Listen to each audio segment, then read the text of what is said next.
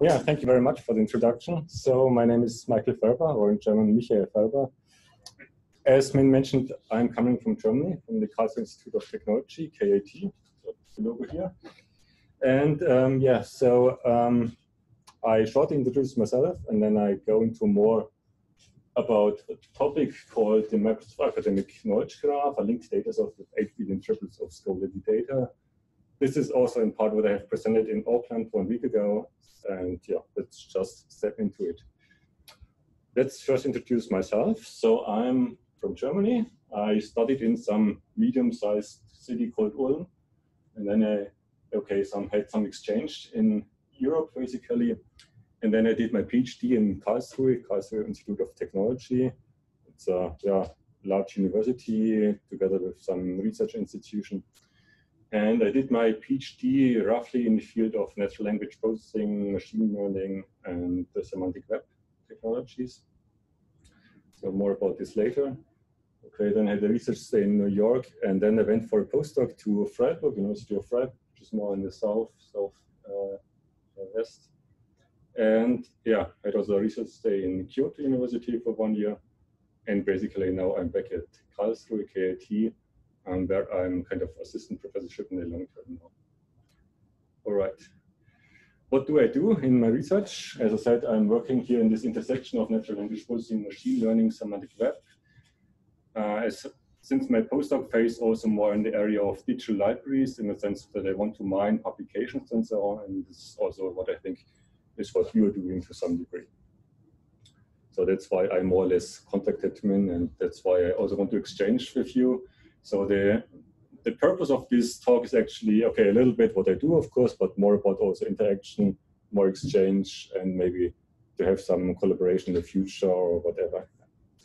So I do uh, a little bit on citation recommendation since about one or two years citation recommendation in the context-aware sense that you have some citation context, for example, in some publications, like one sentence, two, three sentences. And you want to build a recommender system which recommends uh, maybe a few publications which could be used as citations for this specific citation context. So similar to paper recommendation, but more context aware, you really want to back up what is mentioned in this sentence here. So this makes it quite challenging. Then I do also more analysis on publications um, in the sense of, for example, predicting the impact of research of researchers and so on. More about this also later. And from my past, more my PhD time, this was also more about entity linking. So text annotation, basically using a knowledge graph. Knowledge graph is what you probably know is this semantically structured representation of knowledge, as you can see here, as example from DBpedia. There's also other ones like Wikidata, Freebase, and so on. And text annotation or entity linking just means that you have some phrases, like some named entities, like here Einstein, and you want to link it to the entities in the knowledge graph. And there are yeah, quite complicated machine learning approaches for this because it's not that not that easy as you might think there are several steps. First, you need to detect, okay, what uh, phrases, what so-called surface forms are relevant for linking. And secondly, you need to disintegrate them. Like Einstein, there could be several Einsteins here. Kant is also ambiguous and so on. And so we use the context of the text and the context of the knowledge graph to have here some perfect mapping, basically. All right, then I focus more on knowledge graph construction um, because, okay, my group, we're working on knowledge graphs basically. So we need knowledge graphs and for semantic search recommender systems and so on. So the typical benefits of structured information, like data integration and so on.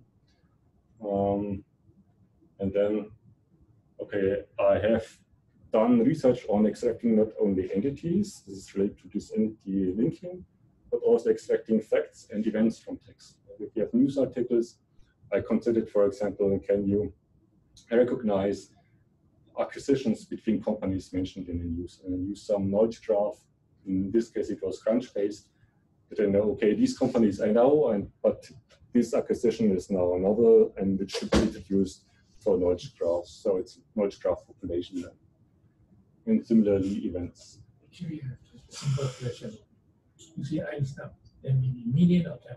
How do you know which one is in your graph? I mean, This one, it's ambiguous. it's ambiguous, exactly. Yeah, ambiguous. So therefore, that means how, how to make sure that it's correctly detected. That So means the- it, looks like you are just look like one to one. It's on that. This is the- face. That's the case. Okay. This is the final result. Yeah, Actually. but the thing, how do you know that this Einstein is mapped to that one? Exactly. That's the whole Yes. uh, whole Yeah. problem of entity linking. Yeah, Um, there's research about 10 years for this, actually. Many. but I don't Uh, see any anything which is, can be done automatically, even if you add more many other things. You That mean means that the, it just simply simply very simple a name, yes, author name Yes. cannot be detected. If you look at the DBLP or something like that, exactly, then maybe one way they are maybe hundred or one way away. You exactly, don't know which one. exactly. Yes, that's the main problem. And actually, I'm working currently on a merge thing is, agnostic way. That's, I don't think a- any breakthrough if you don't use human, or DBLP, something like you, the author have to go and tell them, this is me, that is not me. Yeah. So besides that, Possibly, I think that need the, uh, more contexts are required, like some application or some No. references. no, even cannot, even the, the same name and appear in the same university affiliation. So therefore, you cannot, basically, you cannot use automatic entity identification. There's no way. But if you do the publication in the context, like even context, the same area, it can be in the same area. Okay. Chances are higher to detect. Yeah, yeah, chance. I know that there's a chance that higher. The thing is, it's not 100% yeah. Okay, that's what I'm saying. It cannot be done for serious thing, okay. We cannot be realistically done. For we talk very serious, it's okay. We make some mistake. Yeah. 10%, 5%. Yeah, we are doing it already. I mean, Google Scholar is yeah, yeah. publications, but it's quite year. Right? Yeah, because basically the simple thing is entity resolution or the verification cannot be done. Okay. No matter how you do com- combine with any other field. So we can only increase the chances of. Yeah, you only can increase the chances of but not. The, deterministically say like. Yeah, we cannot say I'm sure that's correct. Yeah. yeah. You're right. There might be domains which where it's quite complicated, like uh, complicated. names in But the the Asian area. human being can do that. Okay. This is the problem. Many human beings can do that. It, it, it really depends if you have Because uh, you know what, the, the text will be analyzed, there may be some context. exactly. Not, not just here with the paragraph in front, paragraph below, okay. From the context, they can narrow that down. So your problem is if you do not have so much context here. one line, that's. Okay, yeah, then it's a quite problem. Yeah, there's not so much to do actually. Yes, then it's more about the question is how many entities you find in this context, basically, yeah. to this network. If you don't have this information, then it's hard, but also it's hard for the human, I guess. Um, there are specific techniques for short texts, but yeah, you're right. Um,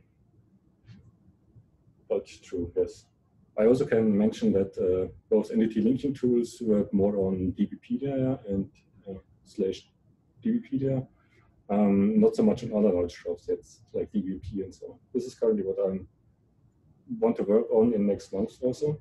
so if you have some use case for annotating scientific documents with author names and so on, those are all manually done. Manually, that means you want to do the Wikipedia, the link. You must auto, cannot be done automatically. currently I'm building an approach who does The this same- automatically. The same thing, I mean, I've- you cannot identify the entity, by identify certain thing hundred percent correctly, so it may point to different thing. Right? But the same question, the, the same reason, Yeah, you might, it, yeah, um, it depends on the domain. If, I mean, even in the same domain, like, because I just, I know that there are many one, if you look at the DBLP, say, the whole row. If there, there exists some correlation uh, ground truth pattern, then with that pattern probably. Yeah, it's probably, Yeah. it's probably, okay. Yeah. maybe increase the chance Right. to get the correct I answer. mean, but if you, if not- you have solid There, ground truth there's no theory behind Hmm. guarantee. In the interest of time, maybe we can have Michael. Yeah. sure, yeah, thank you. But thanks for the addition, yeah. Um, yeah. All right. and then I'm working on semantic search, uh, which is about, uh, for example, here having some keywords in several languages. So it's about cross-lingual search. And then this demo was about that you transform these keywords into some so-called query graph where you have the entities meshed and relations between them.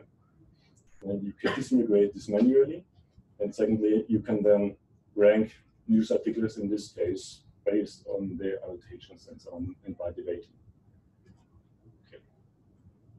Good. Um, let's come now more to the topic of this scholarly knowledge graph that I have worked on. So the motivation is that uh, publications or, or researchers nowadays face the problem that there's a lot of information out there in the scholarly domain, like metadata about publications. Each day publications are released and need to be need to be aware of them. And this is also listed here. So the publication index in the computer science bibliography DBLP. You can see here the in proceedings, the books and the articles. And what you can see is basically there's an exponential increase in the number of publications. So what can you do with such information? Well, you can build applications, for example, paper recommendation. So this is more about if you have some set of publications which you have read or cited or whatever, recommend me other papers which you want to read in the future, for example. Or then you have this context-aware citation recommendation, as I mentioned already. You have some citation context, and you want to find the papers which you could use for this linking, for the referencing, for the citing. And it's not so trivial because you need to understand what is written there. There might be different ways of citing. In this case, it's more about some concept, more about referencing what is the reference paper for this data set. It could also be some claim and so on, so different ways of citing. And then you have the problem that okay, Wikipedia, for example, is mentioned quite often, and you need to figure out, okay, this is the reference paper, but it's also mentioned here, but this is a survey, and this is just here applied, so it's also not so trivial. And if you have additional information, such as the venues, the authors, and so on, you can do other kinds of recommendation, like venue recommendation, recommend venues for papers. Yeah, the citation documentation counting citation is not a really a good measure because sometimes people always criticize certain papers bad, bad, bad, but you just count. You must actually the more accurate one. You should see whether the citation give them a good comment or bad comment. This you know, we have so many bad comments. People yes. bad news appear so many times, and just count out. And then you say a good measure. It's not. The paper is not no good. People always say that it's no good. Right? Yeah. So, I mean, that, That's why- there are some citations that actually they quote a little bit about the sentence. Yes. Say whether is this good or not. So whether you count, you say that this paper you know, some good point or basically say this is a bad paper. And usually people write paper, you say their, their paper has some point. So there's a lot of work Yeah. on analyzing this citation context actually. Yeah, so. What you mentioned is Yeah. goes more in this direction of citation function, so different annotation schemas, where you so they're different classes basically. So you can have some citation context, and you the approaches for classifying this citation context as positive as negative. Yeah, yeah. More the citation polarity.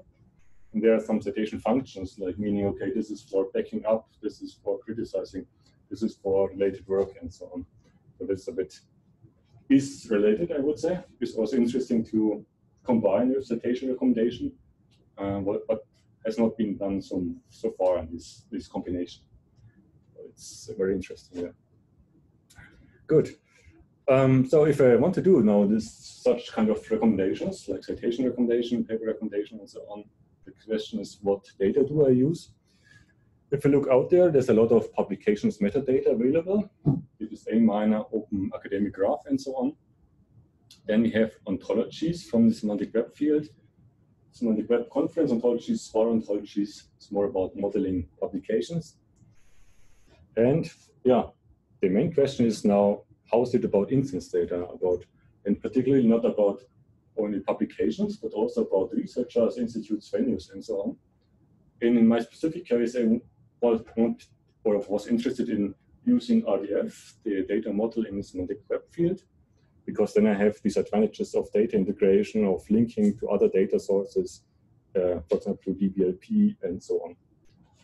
So if you look into this field, we have here several data sets. OCC, COCI, these are both from open citations. Then DBLP, there's also an RDF version available. SciGraph from Springer, Wikidata, ACE Knowledge Graph, and the MAKG, the Microsoft Academic Knowledge Graph, which I propose today. So if you look at here, you can first of all see that most of them are comparably small here, especially on the left-hand side. Or they cover only a few entity types, like publications, citations. This is more for these open citations. And then we have specific domains. DBLP is only about computer science and so on. You might have only specific publishers, like from Springer, the SciGraph, and so on, or they are outdated. So what I proposed here is this Microsoft Academic Knowledge Graph here. It's available on the mi-graph.org. And what I did basically is I transformed the Microsoft Academic Graph, MAG, into RDF with using existing vocabulary. So the MAG is already existing there. You can download it, mm, but it's not really a graph and also not a knowledge graph. So that's why I transformed this into RDF, into some knowledge graph. And then I had about 8 billion triples. And I, yeah, wanted to establish typical semantic web standards, let's say. So I linked resources to the Wikipedia, Wikidata, Open Citations, and Grid. These are other data sources in the linked open data field. Then I provided this online, mi-graph.org, S and T files. So these are the RDF triples, basically. Then I had this resolvable URI possibility for the linked open data cloud and I have some SPARQL endpoints, so where you can query also the data with complex queries. Then in addition, I had mappings to open citations and Wikidata in the sense of that you have now information about publications, for example, but you want to integrate or combine with data from Wikidata, for example, then I have these so-called same as links. So I say this paper is this paper in Wikidata. And finally, I also computed entity embeddings more for NLP tasks.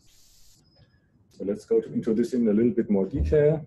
So just a quick question. Yep. Uh, for the, the endpoint, you got the SPARQL endpoint. Mhm. How many users are, are accessing that endpoint on how many databases now? Is it a widely used service or primarily just research institutes using it?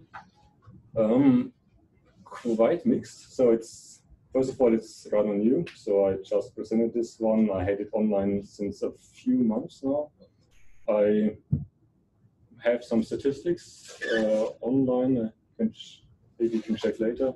It was um, quite mixed, so of course, research, research institutions, but also startups were quite interested in it. Startups focusing on mining publications and um, um, providing yes an overview, especially on recommending papers to users and so on. And maybe they thought, okay, this is a good way um, because it's a rather new data set. You have, uh, we will see later, 210 million publications from all scientific fields, and so it's a good source maybe. A simple question. Mhm. The Microsoft, okay, it can be graph, how many nodes are there? Because when you convert that one into RDF, Yes. you know, one record, you say for example, a record, you have, you have ten attributes. How many RDF record tuple you need to represent that particular uh, relational record? I will come, Ten attribute. Basically, you expand, expand drastically, n, n attribute you have to convert to n plus one in a binary relationship because RDF is a binary relationship. Binary. Yeah. yes, yeah. So therefore, that means uh, the, the number of attributes, that's why I asked, what is the size of the uh, Microsoft academic graph? Thankfully, it's so much smaller than your 8 plus billion. It's just a number of triples, yes. Yeah, I because have- always, I have statistics later of many instances. Let, let me have a look later. We'll come back in five minutes. Um, so here's uh, the existing vocabulary which I use. Um, this is mainly some vocabularies from the so-called SPAR ontologies, which is more about modeling publications, like Fabio, CiTO, Prism, and so on. And here, just to point out again, the, what makes MAKG peculiar is more that you do not only have these metadata about papers, but also you have information about which authors wrote the papers. Authors are affiliated to institutions. Papers have some field of studies attached. Papers are published in journals or in conferences. Conferences then are part of conference series and so on. And for all entities of these entity types, we have also attributes, of course, so properties. Quite a lot. This is the overview. Of course, this is too small. So let's just jump a little bit into it. We start with papers. For papers, you can imagine if you have a paper, you have the title, abstract, and so on. The abstract was available in some inverted index, so we transformed this into normal text and made this as a literal then. We removed some information from, uh, from the MAG, like normalized title, and also we have the paper URLs available. However, the link rather to the landing pages, more for copyright issues, so not to the PDF directly, but they are separate data sets for this. Good. Then we have authors. We saw, of course, information which author writes which paper. So this.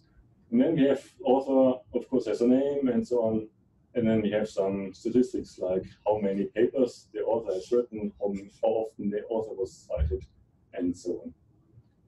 Actually, from the question is, what is the OID for author and especially paper? How do you define the ID? You use URI. URI yes. is artificially created. Then how do you know that these two papers are in fact the same paper? So I mean, you need to have object Between have DOIs. DOIs, yes. Yeah, well, how do you know who create this so in, in case of emigration, these are manually or manually done, right? Because the two papers, it's actually they are the same because it appear in different places. Yes. appear in different uh, database. Their idea different. The OID are different from Hmm? So how do you know that actually? In my case, the DOIs for the papers was already given. The, of course, in the, the important question. That's the same as author. The author ID. There are a couple different identifiers in instructions as well. So, mm-hmm. so this is more. Just now we mentioned entity resolution. Entity resolution, which is a separate topic, I would say. Yeah. A lot of research has been done, and yes, I, I rather here focusing on publishing the dataset because is a valid research topic. Yes. Um, all right. For the affiliations, um, I store also some information. Of course, here some name again, paper count, citation count, and also some strings which are transformed into URIs, like is the Wikipedia article on the homepage, and here some string of the grid. There's some um, some kind of database of researchers, this grid ID. And then publications are published in conferences, for example. So we have conference instances. Conference instances have a name and we have some other information like here the paper count, citation count again. And then I have here some deadlines which were accepted already at the MAG. Also have the location as string. Here I also transformed this into a URI and I use some entity-linking toolkit for this so that you have Oslo, Norway, and you just link it directly to the URI of Oslo. Then conferences are part of conference series. Um, so, for example, SIGAM 2019, and you have the uh, conference SIGAM. You have here the citation count and paper count, for example, and here some name of the conference. Nothing too special. Articles can also be published in journals. For the journals, you have the name, the ISS, ISSN number was already given here already. You have again the homepage and some other statistics again. That counts. Actually, the question people seldom mention. Sometimes a person can change it. A conference name can change, can be changed. Yes. Then their evolution. How do you know that this one changed to that? In fact, they are the same because uh, the journal also changed me. Yes. Okay, so the country also changed. Right. So therefore, then you have to try to trace this one, not just that the author author affiliation keep, keep moving. This person keep changing job. So how do you know which one in fact is the current one. The rest are just uh, you know, previous uh, affiliation. True. Yeah. So all You're this, Finding out important yeah, future these are important directions. because uh, Um, you want to search for some. I'm, ju- some, I'm some just at, yes, I'm just at the beginning of my research here, let's say. But yeah, you're true. So I- Another point is like rank. Rank should be with respect to the field. Like if you, if you consider interrelated field, then the ranks are not that much relevant. Yeah. If you consider the same domain, like particular domain A. Uh, so if you if you consider two different components from two different domain, and if you say rank of that is one, rank of that is ten, that might not be. Yes, um, so far I haven't used this rank because it's not so clear how this is created. You might want to use other indications. Uh, you have this paper count, citation count, for example, um, or you want to combine with other data sets. Yeah, but valid point is. So the rank that you got from the MAG uh, is with respect to some domain. It covers all domains actually, all scientific. We have 12 scientific domains. Uh, I have an overview in, in a second. That's the nice thing, yeah. Good, and then you have, um, for papers, we have associated field of studies as kind of scientific concepts. And each field of study is associated to some abstraction level, ranging from one to five. At the top, you have more these disciplines like computer science, math, that if you, if you go down, you see here, okay, you either have some more specific, let's say, research problems, or you have more mm, subfields of specific fields or disciplines. And then you can differentiate between citations and references. So references more on document level, one document references another document. And citation is more, in this case, more of the citation context. You have some sentence given and you know, okay, here, this paper was referenced. So we have both information in the MAKG. Um, so for part of the reference, you also have these citation contexts and then we have these citations. They are partially noisy because you need to extract this from the full text, of course. You have this ternary relation of citing document, cited document, and the citation context, which means that in RDF you have this ternary relation with a specific node for it and not only one triple. And but overall, this can be used for citation recommendation, citation-based paper summarization. Because if you know, okay, how was this paper cited, for example, then this is a very, very valuable. It's often even more interesting to know this one than the actual content of the paper itself. Good. So another contribution was here now to link it to other data sources. This was a little bit discussed already. We have here our MAKG, and for example, you want to link it to other data sources like the open citations. So far, I did it quite straightforward. I used paper DOIs and focused rather on papers only. And then I could link about 16 million papers. You can see here the coverage of open citations still rather small. It's mainly written in English because of open citations. The publications out there mainly in English. Also, Wikidata was used then. I have here also the DOIs, which I could use. Only 6 milli mappings, but at least one third of the Wikidata papers are covered. Then. And also here, most of them were covered in English.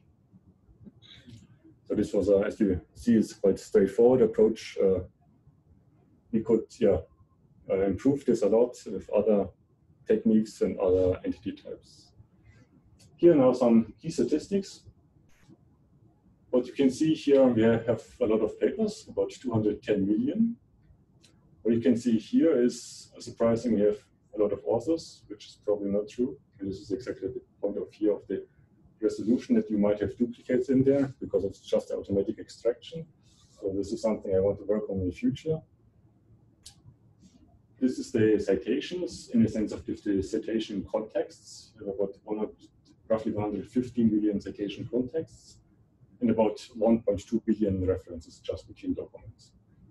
And then the, the remaining ones, field of studies and so on.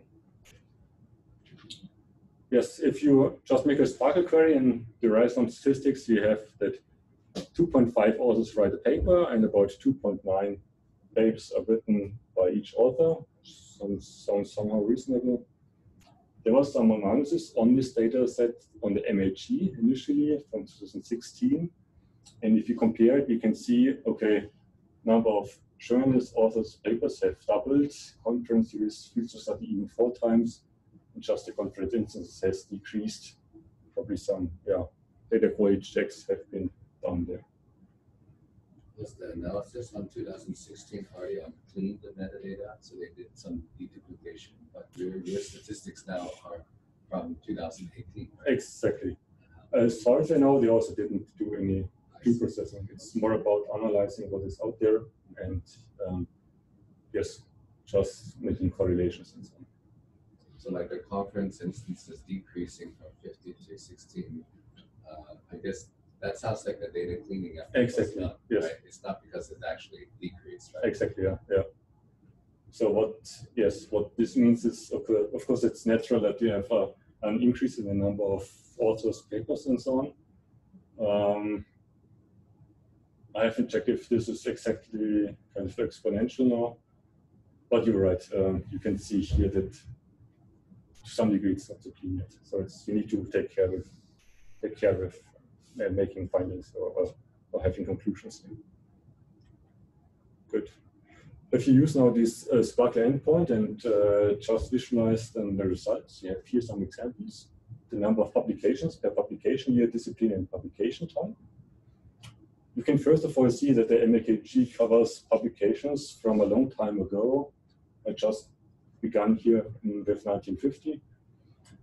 And just considering biology and computer science, you can see, okay, biology is apparently quite well covered. You have here the biology journal articles, the most frequent ones. Then comes computer science patents here, and then computer science conferences. You can see also patents is included. A similar picture if you look at the number of citations of the papers. So this is the number of paper citations. You have biology, medicine, chemistry quite well covered not so much in history, art, philosophy. Quite natural, there are not so many publications out there. Most of the papers are here journal articles, also mainly because of, okay, if correlates if we have many biology publications, then most of them are journal articles. Then you have a lot of patents and then conference papers, books, and book journals. Just curious, okay, Mhm. do you have any, why biology has so many citations or medicine? Maybe that there are some reason. Because sometimes people compare different disciplines. Mhm. Especially in mathematics, I know that there are the number of citations they have is very few, the number of paper published. Not, not, not currently, those are mathematical. Previously, those are pure mathematics, very, very few. But medicine, very, a lot.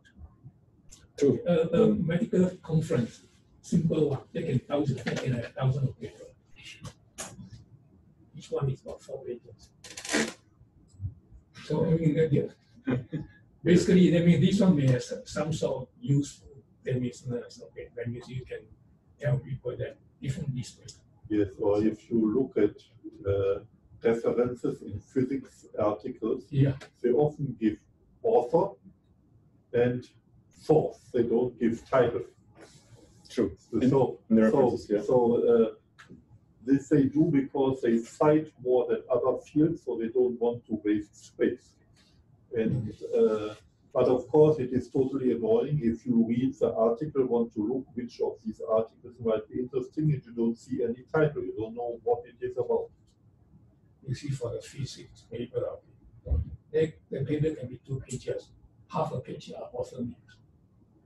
Half a page or author name, because all the technician, whoever, or if you have the equipment, then anyone use your equipment, your name will appear there in the paper. So there are many, many of them. Half I- of I a think- page. I think he's more speaking of the reference sections, right? Yes, yes. Exactly, because I also faced this issue. I also worked with arXiv, arXiv, the data set. We have also not only computer science, but also physics, for example. And we use this for citation recommendations. So we need to parse the citations. And we had also this issue, yes, I can confirm this. Um, in the, you're true that in physics you might have whatever, 100 Many, many authors. But you can imagine they are not listed so much in the reference section. Otherwise, you end up with hundreds of pages. Anyway, Uh, they also have so-called collaborations, and there are somewhere archived 2,000 or 3,000 names of authors, and then they use one word for collaboration number, whatever, Mhm. and then they put this as the authors of a paper. Oh, interesting. I haven't checked this. Okay. Yeah. Um, yeah. Just to mention, as, as by the way, so I have also worked on this arXiv dataset and I have published some so-called ar- unarXive version. So if you just want to have the contents of the papers in arXiv, then just come to me. I have some pages available for this. This is a separate publication, not presented here. Okay, um, some more examples just to illustrate how you could use this now in the semantic web context. Uh, this is just, just some toy examples if you want to have the top 10 institutions in the area of machine learning ranked by the number of citations. Looks like this. Uh, actually, it's quite straightforward if you are a little bit familiar with SPARQL. And you just yeah, end up with some list here. Okay. So here the, the class hierarchy of all those topics. Because machine learning, below there are many of them. You know, okay, the, Yes. the, the class hierarchy. So You have something like that. Otherwise, okay, the title may not have machine learning. Actually, the, the content is machine learning. Yes. You cannot just simply search the title or something, or the conference, okay? Yeah. So you see here the paper is, has some discipline, which is a field, and the field is this field of study. So there's a direct connection between paper and field of study. And for field field of study, this is this one. You have here this abstraction level. So Yeah, if you and This is the one I mentioned. yes, In exactly. fact, they should have some sort of class ID, like ACM has some sort of classification for all the fields. Yes. So in this case, it was something like uh, here, maybe on level two, you have machine learning as part of computer science, and then you had this. You also had other field of studies, but uh, these were not relevant. And yes, so this was then directly linked to the, to the paper. So it was a transitive relationship, basically. Good. And maybe a little bit more funny, what about 100 researchers which have been most frequently two conferences in some city, like Hawaii? Of course, this is more an approximation, as you you can read the SPARQL query because they have just written here papers, have some author, and they have some names, and the, the paper is then appearing at some conference, and the conference has some location. So an approximation in the sense that I just check if there was if someone is author of the paper, but not if he's first author, if he's really attending the conference and so on. Anyway, you can this is just an example what you can query here. Um. So um, I published this dataset as Open Data Commons under this license. It's freely to use. I have some linked dataset descriptions, which is common in the semantic web area, like providing some schema. So here's some old file, so-called vocabulary of a friend description, and a void file, which is more for describing the vocabulary. There are some so-called five-star ratings. According to Tim Berners-Lee, I have this dataset in five stars because I use RDF, uh, use URIs linked to other datasets. I have uh, an old file for describing the schema and so on. And linked data vocabulary star rating is four stars. I provide an old file linked to schema.org and so on, but others do not really use my vocabulary so far. Good. Final contribution was these entity embeddings.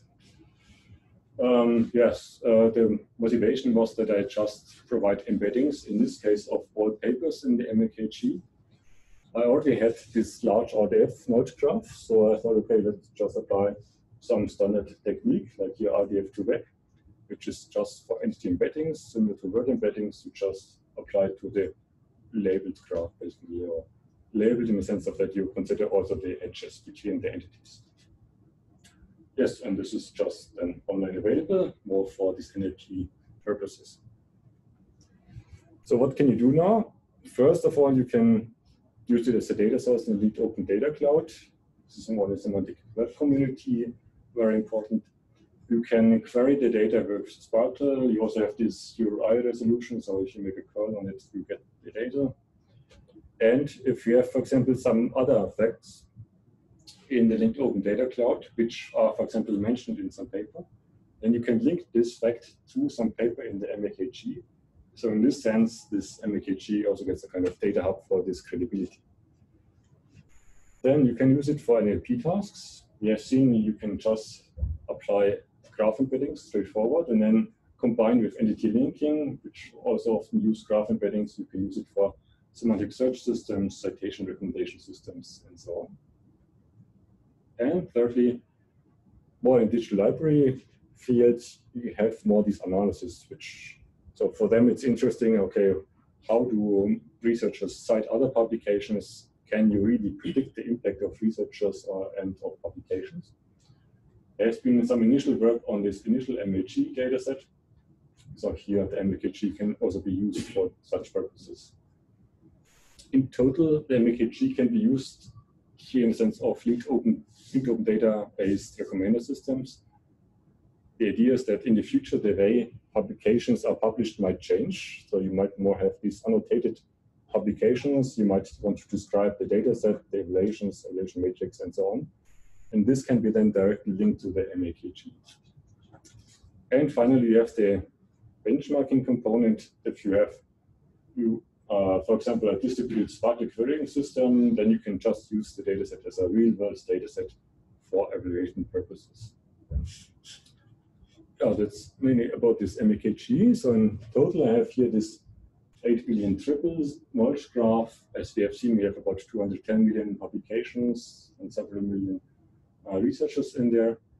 This covers all scientific disciplines. I think it's about 12. I use these existing vocabularies link them to these data sources out there, such as Wikipedia, Wikidata, Open Citations, and Grid. This dataset is available on the web on Zenodo and on Amazon as S3 data source. Then I have this resolvable URIs, of course, and this SPARQL endpoint, which you could use. And then, as you have seen, we have these mappings to open citations and Wikidata. This can also be improved in the future and I provide these entity embeddings if you want to have just embeddings for papers, uh, for these NLP tasks, uh, such as citation recommendation. You want to have implicit knowledge representations of the papers to have similarities and so on. Yeah, um, mm -hmm. more on you know, embeddings, like how do you exactly calculate it based on the graphs or based on the content of the paper? Because I saw one to back there. Yep, yep. Um, um, so far it's on the graph only there's some in the semantic web field is RDF2Vec approach, which is became quite popular. It just uses the RDF graph. On what I have as RDF graph is what I just proposed. Uh, so basically this one, and shortly this one with all the attributes. Meaning I have some more some metadata such as uh, title, name, and also abstracts and the citation context, but I do not have the full context. This would be a separate approach.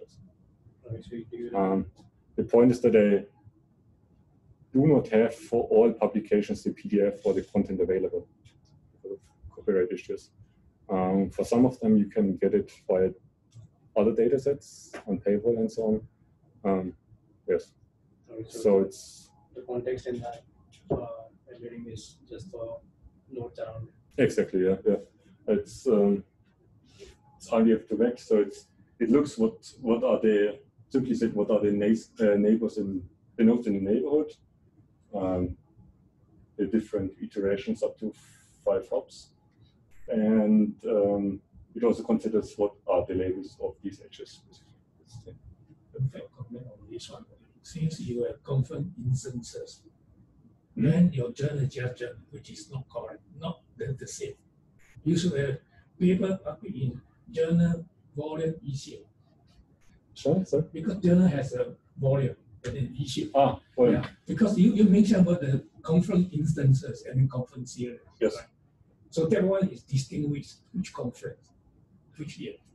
Yeah. But the journal, you cannot just publish in that journal. There, there, there volume, the issue number, You don't know detail, they know all, all the details. Yes. But you have here some journal on the volume would be more some metadata about the paper itself, I would say. Inside there. So It's, it's stored as metadata of the paper. What is, uh, what is paper there, in fact? So I need to look, but there's here, for example, here this volume as an attribute here. And some other identifiers. The publisher, But yes, publisher of the journal. publisher is uh, so far also stored somewhere, but of course this is also what could be in in the future. Very simple, of course. Yes. Journal maybe change publisher, some journal, somewhere they change the publisher. Yeah. So far, the, the publisher was not that important for me, but of course, it's also what you could consider in the future. Yeah. So what I want to do in the future, among others, is more this considering the, the evolution of this knowledge graph over the time. I have different snapshots now. I want to analyze how, how does the different disciplines evolve over the time. And secondly, also more on a research and uh, researcher and publication level, can you mm, predict the impact of researchers and of publications over the time? So called scientific impact quantification. So overall, this is more in this whole frame of knowledge citation that you have texts given here. For example, you are again in the context of citation recommendation. And then you want to distinguish between different kinds of citations. You have here some concept mentioned economic programming, which is some scientific concept and you want to link it. And here you have some facts, which is also represented here, not really scientifically here, but anyway. And this MKG can now be used here on the right hand side as some MKG knowledge graph. And yes, so this is also what I worked on a little bit in the past. Uh, more about different types of citations in the sense of that sometimes you have the just the reference. So sometimes you reference the concept, sometimes the data set, sometimes the claim. Sometimes you just mention it as by the way, and sometimes you just have it integrated in the sentence. All right. And then finally you have here this, sometimes you could have events. This is also not really in the scientific domain yet. But it indicates that you also this could be stored in some knowledge graph, maybe with some other uh, data model. Right. And that's it from my side. Thank you so much. So, more questions?